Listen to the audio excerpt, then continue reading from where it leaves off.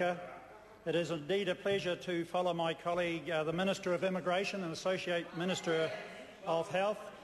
When Bill English, uh, Mr Speaker, finished reading the 2010 budget, which was under the theme of building the recovery, the Leader of the Opposition got to his feet uh, and moved an amendment to the motion. And I would make it very clear to the House that this side does not support that amendment to the motion. Uh, the Leader of the Opposition made the statement that he believed the government had failed to implement a plan for jobs, lacks any vision for a smart, high-skilled, high-technology and high-wage economy. And, Mr Speaker, uh, that is as far from the truth as you can possibly get.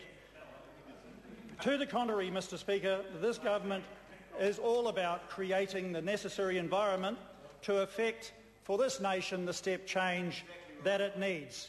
We need a first-class economy that will provide the citizens of New Zealand with the jobs and the careers uh, that are high-skilled, high-tech and high-wage, because that is what the hard-working citizens of New Zealand uh, deserve. That's right. In fact, when you look at the Leader of the Opposition's speech, uh, it failed to resonate with New Zealand, much the way the tired Labour government failed to resonate with the citizens of New Zealand leading up to the last general election. They lacked the inspiration uh, that the New Zealand uh, people require.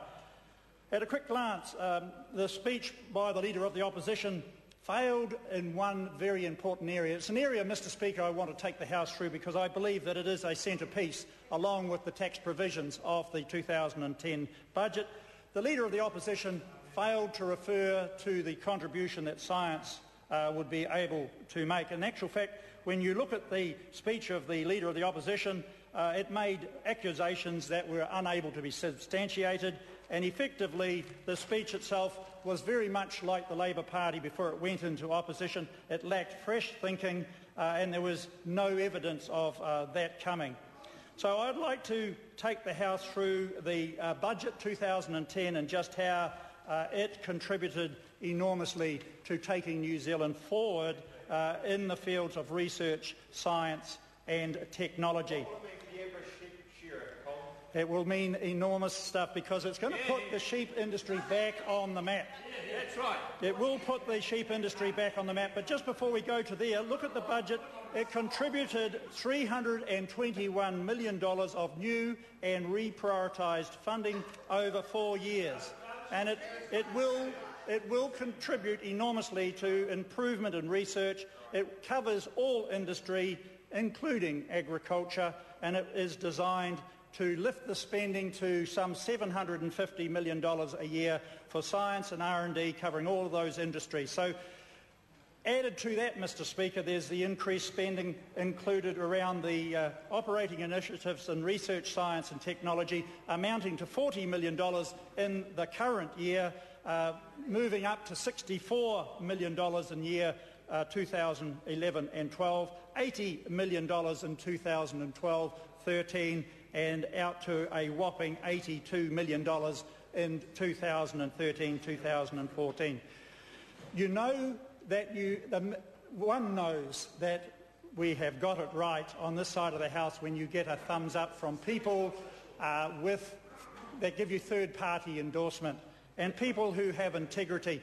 And I refer here to Sam Robinson, the chairman of Ag Research, who was formerly also the chairman of the meat company Richmond's, somebody who would stand out uh, in the agricultural sector for their integrity uh, and their uh, contributions uh, and leadership.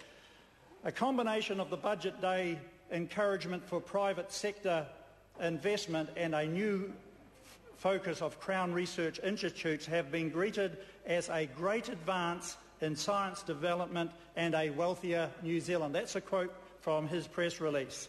It goes on to say that Robinson said that as a farmer and citizen, he agreed largely with English's conclusions. As a director of Ag Research, I say that the reforms we are seeing is about making New Zealand more competitive and productive. Science is a big part of that. What a wonderful endorsement uh, of a budget from someone so eminent. New Zealand government funding for science and research has closed the gap between the average of OECD countries. But business funding was well below the OECD average. This budget is about fixing that, Mr Speaker. It is pretty good.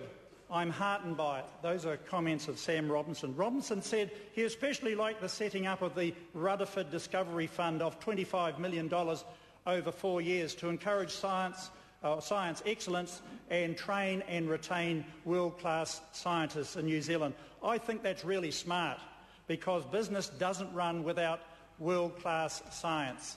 And I'd just like to highlight to those members over there uh, that what Sam Robinson was talking about in that particular quote uh, is where New Zealand or where this budget is being directed in allowing those scientists to keep more of the smart money that they earn. Because really, uh, just as was quoted on the Sunday paper, that effectively, sorry, the rich, we need the rich more than they need us. And I think myself that that quote there highlights why, because we want to retain, we want to retain that intellectual property and those smarts.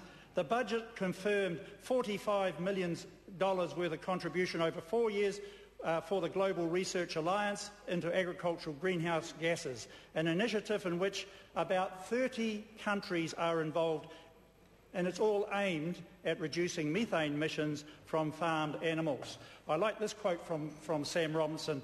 One of the great unknowns is how the rumen works and they are the engine room of the New Zealand economy. Some of our best scientists are trying to understand it, and you need to understand it before you can get solutions. The budget also provided additional capital funding of 6.7 million and operational funding of 14.3 million over four years to develop and improve joint border management systems. To replace ageing border clearance systems run by the Ministry of Agriculture, Forestry and customs. And on top of that, Mr Speaker, there's another $200 million to be rolled out for ultra-fast broadband on top of the $200 million that was rolled out last year under Budget 2009. It's also wonderful to see that the Primary Growth Partnership uh, has commissioned a number of projects. Three primary sector organisations have received $20 million over the next five to seven years and that is a relationship, Mr Speaker, between government industry partners that was announced in Budget 2009 uh, with the industry funding and the value of the partnership expected to exceed $45 million.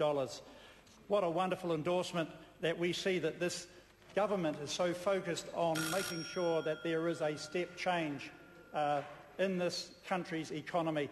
I just want to finish off with a, another contribution by Merino New Zealand. The Merino New Zealand company, the government and the government um, primary growth partnership has announced a 36 million five-year initiative designed to amplify the momentum and economic returns already, already evident in New Zealand's fine wool sector. And what does the chairman, John Nicol, acknowledge? He acknowledges the role of government. The process has been robust and at times demanding but it has forced us to further raise the bar in our thinking regarding sector innovation, integration right. and the particular value capture to farmers and the broader economy of New Zealand.